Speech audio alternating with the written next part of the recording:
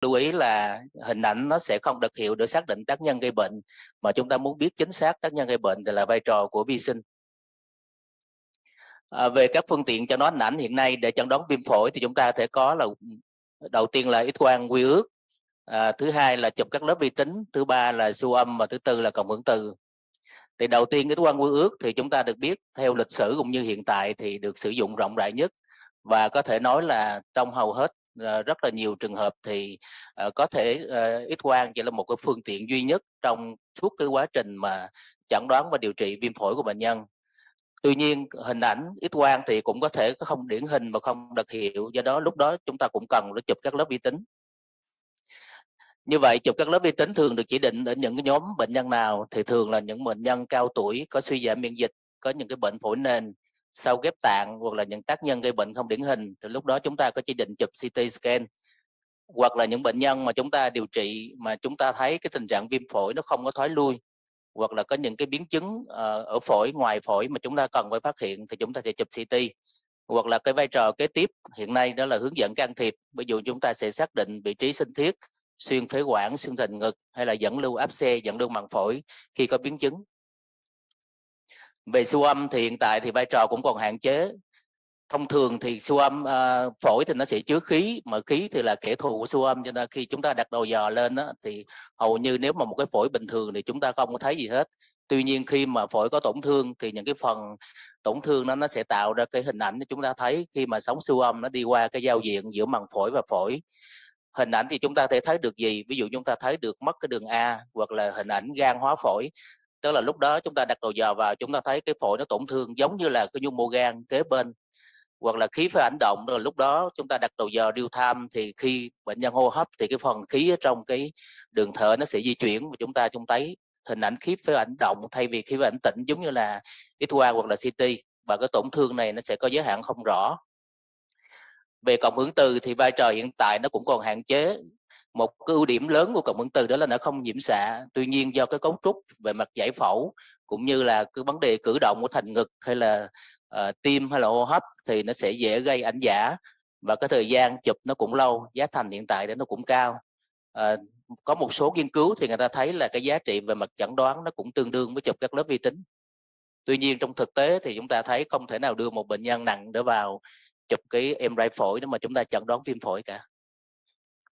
về phân loại viêm phổi thì có hai nhánh thứ nhất về lâm sàng thì có thể phân loại theo viêm phổi cộng đồng viêm phổi bệnh viện hay là viêm phổi hít còn về mặt hình ảnh thì chúng ta có thể phân loại theo viêm phổi thùy viêm phổi tiểu thùy và viêm phổi kẽ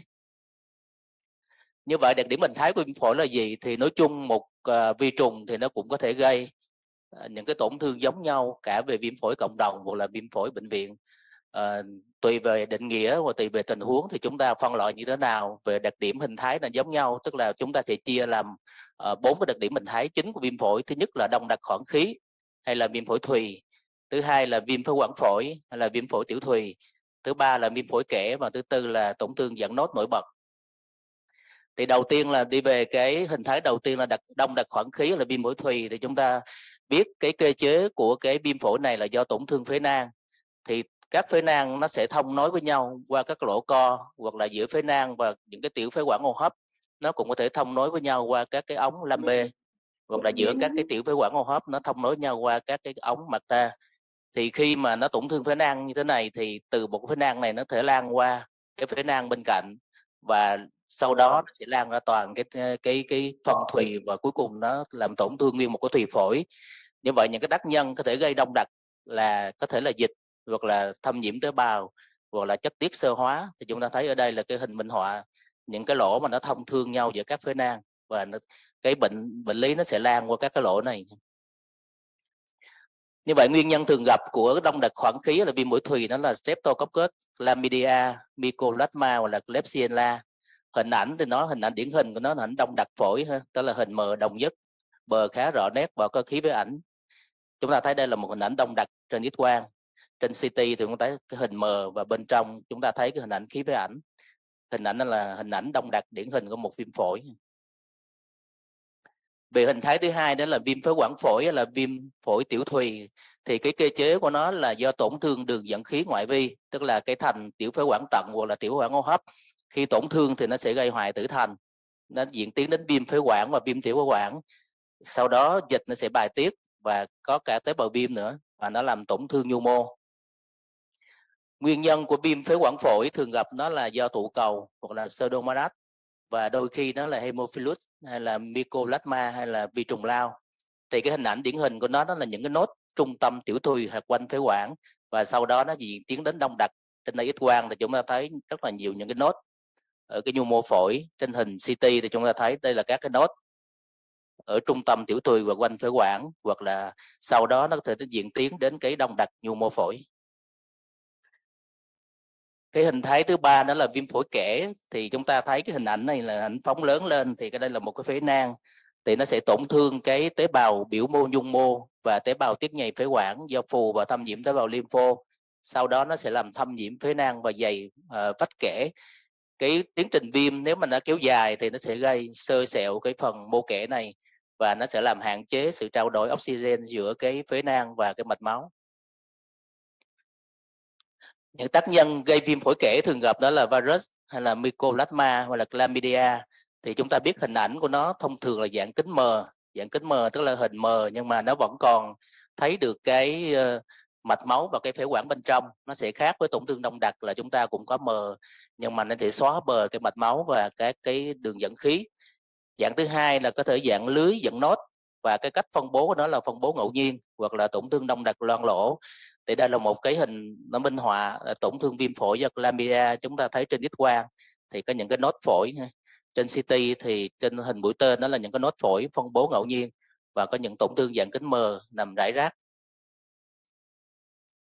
Hình thái thứ tư đó là dạng nốt tuổi bật về nốt thì nó có nhiều cái cách phân bố, có thể phân bố ngẫu nhiên, phân bố theo kiểu trung tâm tiểu thùy hoặc là phân bố quanh bạch mạch. Thì trong cái viêm phổi dẫn nốt thì do tác nhân nó lan theo đường máu do đó chúng ta sẽ có cách là phân bố ngẫu nhiên. Nguyên nhân thường gặp của dạng nốt, đầu tiên là sau một cái thuyên tắc phổi nhiễm trùng, đó là septic pulmonary emboli, thì mọi người nhớ cái danh cái danh pháp này và phải phân biệt với một cái thuyên tắc phổi do huyết khối chẳng hạn khi các nhà cho nó ảnh người ta đọc là thuyên tắc phổi nhiễm trùng,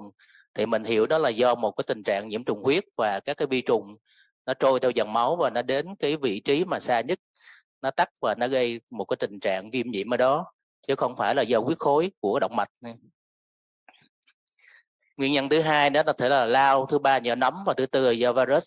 Hình ảnh thì chúng ta biết nó đi theo đường máu cho nên nó sẽ phân bố ngẫu nhiên tức là nó không theo cái biên giới của phân thùy hoặc là bó mạch phế quản. Ở đây là hình ảnh x quang chúng ta thấy rất là nhiều nốt. Trên CT thì chúng ta thấy các nốt này nó phân bố ngẫu nhiên xung quanh nó có tổn thương tính mờ của tình trạng viêm và qua một quá trình diễn tiến thì sau đó những cái nốt này nó có thể nó hoại tử và nó tạo hang. Ừ. Thì hình ảnh này nó rất là gợi ý một cái ờ, uh, thuyên tắc phổ nhiễm trùng nếu mà chúng ta có thêm cái lâm sàng nữa. Chứ còn nếu mình nhìn trên hình CT này không thì có thể nó là một cái ung thư di căn. Nhưng mà khi đó lâm sàng sẽ có tình trạng viêm phổi tình trạng sốt nhiễm trùng huyết thì chúng ta sẽ kết hợp để chúng ta chẩn đoán về hình ảnh trong cái viêm phổi mắc phải trong bệnh viện thì một số tác nhân à, thường gặp đầu tiên là E. coli thì người ta thấy hay gặp ở bệnh nhân thở máy hoặc là suy giảm miễn dịch đặc điểm hình ảnh của nó là tổn thương thùy phổi thấp hai bên hoặc là những cái nốt quanh phế quản hoặc là đông đặc loang lỗ có thể tạo hang có thể tràn dịch màng phổi ở đây là một cái hình ảnh viêm phổi do E. coli thì chúng ta thấy tổn thương à, đông đặc xung quanh có tổn thương kính mờ và trong cái vùng đông đặc này bắt đầu nó hoại tử và nó tạo hang hoặc là một cái bệnh nhân khác thì mà thấy trong cái vùng đông đặc phổi này nó bắt đầu hoại tử và nó tạo thành áp xe có cái tràn dịch màng phổi, với cái màng phổi nó dày và nó bắt thuốc mạnh, nó đang diễn tiến đến một cái tràn mũ màng phổi. Tác nhân thứ hai đó là pseudomonas, thì người ta thấy hay gặp ở bệnh nhân suy giảm miễn dịch, chẳng hạn nhân S hoặc là lạm dụng thuốc đường tĩnh mạch. Thì cái đặc tính của này là nó đặc tính nổi bật của đó là viêm phế quản phổi hoặc là tổn thương thì phổi thấp có thể hoại tử tạo hang. Ở đây chúng ta thấy là tổn thương hai bên theo kiểu viêm phế quản phổi những cái vùng đông đặc và sau đó nó hoại tử và nó tạo hang. Tác nhân thứ ba là tụ cầu thì người ta thấy thường gặp sau một cái nhiễm trùng à, sau cái một cái nhiễm cái virus hoặc là tổn thương nó nhiễm trùng huyết nó lăn theo đường máu. Thì cái đặc điểm của tụ cầu thì nó cũng khá là gợi ý. Nó là những cái đông đặc loang lỗ hai bên và những cái nốt quanh phế quản và những cái nốt này nó sẽ phân bố theo kiểu ngẫu nhiên theo đường máu và sau đó nó sẽ hoại tử và nó tạo hang.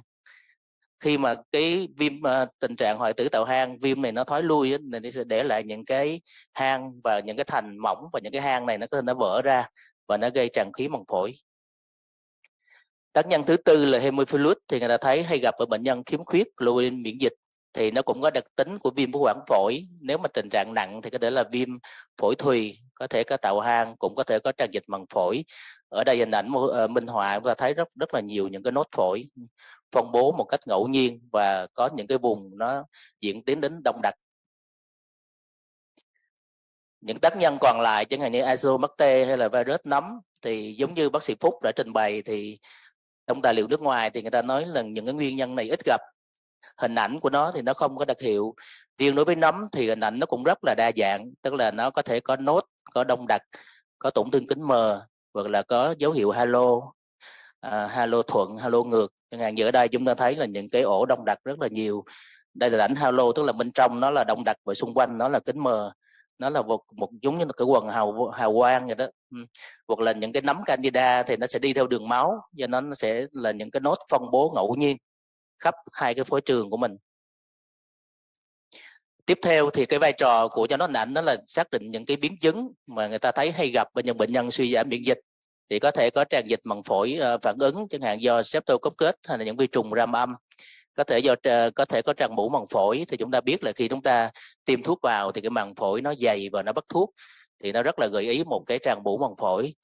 Thứ ba là những cái tổn thương nó có thể tạo hang, chẳng hạn vi trùng kỵ khí, lao, nấm hoặc là biến chứng rò phế quản màng phổi biến chứng tràn dịch tràn khí màng phổi. Giống như mới mới trình bày thì vi trùng à, tụ cầu nó tạo hang và sau đó nó vỡ ra ha. Hoặc là những cái tổn thương thành ngực do cái bào mòn xương sườn à, tạo áp xe do lao hay là những một số cái uh, nấm. Như vậy để kết luận lại phần trình bày thì hiện tại chúng ta thấy chẩn đoán hình ảnh đóng vai trò rất là quan trọng trong quản lý bệnh viêm phổi. Thì vai trò là gì? Đầu tiên là chẩn đoán xác định thứ hai là chẩn đoán phân biệt thứ ba là chúng ta đánh giá được cái đáp ứng điều trị và thứ tư là phát hiện biến chứng như vậy thực tế là chẩn đoán hình ảnh không thể nào xác định được cái tác nhân gây bệnh mà chúng ta phải có kiến thức về lâm sàng